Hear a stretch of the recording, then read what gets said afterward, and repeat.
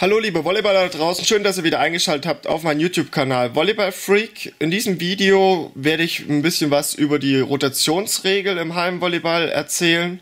Das Thema richtet sich speziell an Einsteiger in den Volleyball.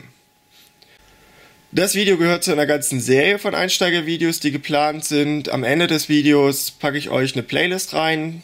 Dort werdet ihr dann von Zeit zu Zeit immer weitere neue Einstiegsvideos finden. Und nun viel Spaß mit der Rotationsregel.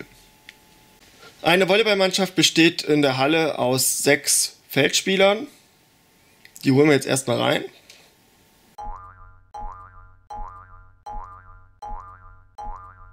Bei den sechs Feldspielern muss man unterscheiden in die drei Vorderspieler, das sind die, die sich vorne am Netz befinden, und die drei Hinterspieler. Der nächste wichtige Punkt, den ihr wissen müsst, ist, dass die einzelnen Positionen durchnummeriert sind. Dabei fängt alles hinten rechts an mit der Aufschlagsposition, das ist die 1, und dann wird entgegengesetzt dem Uhrzeigersinn gezählt. Vorne am Netz rechts ist die 2, in der Mitte die 3, vorne links ist die 4, hinten links ist die 5, und hinten in der Mitte ist die Position 6. Durch die Startaufstellung zu jedem Satz wird zugleich für jede Mannschaft die Aufschlagsreihenfolge festgelegt. Der Spieler auf der Position 1 der aufschlagende Mannschaft beginnt mit dem Aufschlag und sobald das Aufschlagsrecht verloren geht und danach wieder irgendwann zurückgewonnen wird, greift die Rotationsregel. Das heißt, der Spieler, der vorher auf der Position 1 stand, muss jetzt auf die Position 6 wechseln. Der Spieler auf der Position 6 auf die Position 5, 5 auf 4, 4 auf 3, 3 auf 2 und der Spieler, der vorne am Netz auf Position 2 stand, wird jetzt zum neuen Aufschlagspieler. Das heißt natürlich zum Beginn des Satzes für die annehmende Mannschaft, also die, die den Aufschlag nicht hat, wenn sie den Punkt gewinnt, dass nicht der Spieler, der auf der Position 1 gestartet ist, den ersten Aufschlag macht, sondern durch die Rotationsregel, weil sobald der Aufschlag gewonnen wird, die Mannschaft eine Position weiter rotieren muss, der Spieler, der vorher auf der Position 2 eben war, den Aufschlag und somit den ersten Aufschlag im Satz für die Mannschaft macht.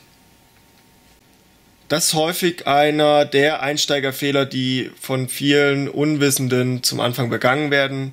Ist jetzt nicht gravierendes, weil das meistens eh im Hobbybereich passiert, aber wenn man das weiß, passiert einem das nur einmal und beim nächsten Mal eben nicht mehr.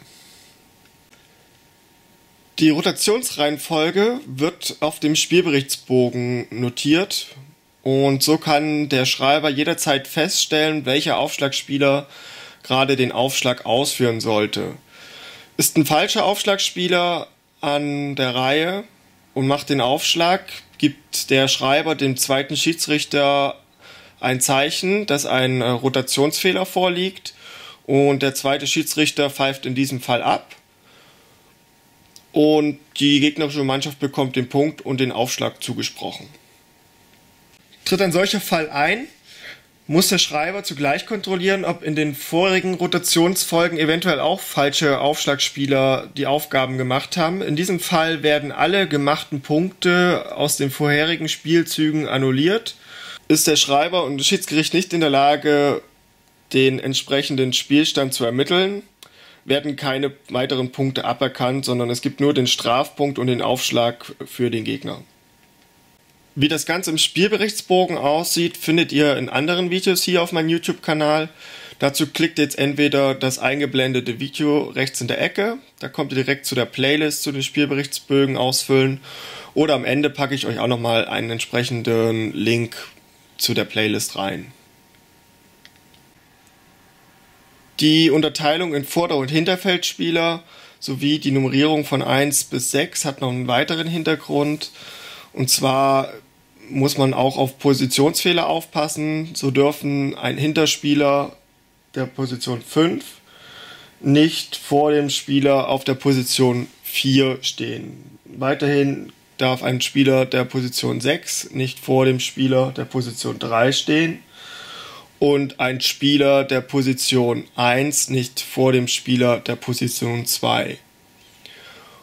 Weiterhin geht es auch nebeneinander, das heißt, der Spieler auf der Position 6 darf nicht links von dem Spieler auf der Position 5 und nicht rechts von dem Spieler auf der Position 1 stehen. Und vorne genau das gleiche. Der Spieler auf der Position 3 darf nicht links von der Position 4 stehen und nicht rechts von der Position 2. Zum Thema Positionsfehler bzw. auch Aufstellungsfehler genannt, werde ich euch nochmal ein separates Video fertig machen. So, das war es auch schon wieder mit meinem kleinen Video zur Rotationsregel und der Aufschlagreihenfolge. Ich hoffe, es hat euch gefallen. Wenn ja, lasst einen Daumen hoch da. Wenn ihr Fragen habt, schreibt was in die Kommentare rein, damit alle was davon haben. Ansonsten würde ich mich freuen, äh, wenn ihr auf einen meiner nächsten Videos wieder einschalten würdet. Bis bald, euer Volleyball-Freak Steffen. Tschüss.